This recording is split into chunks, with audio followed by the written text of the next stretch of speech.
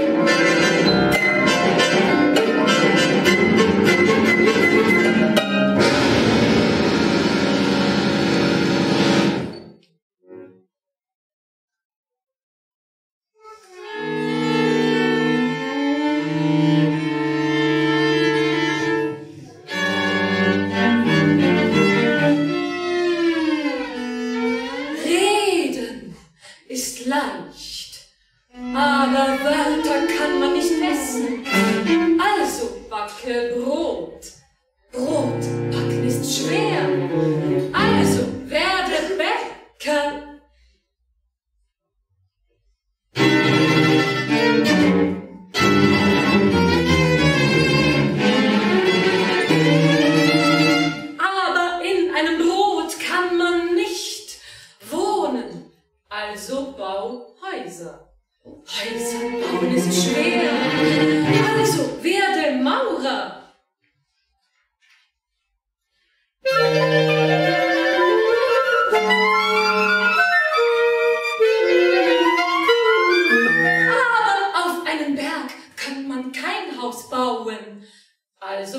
zu den Berg.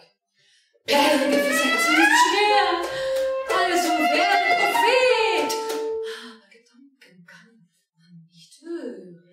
Also rede, reden ist schwer. Also werde, was du bist und murmle weiter vor dich hin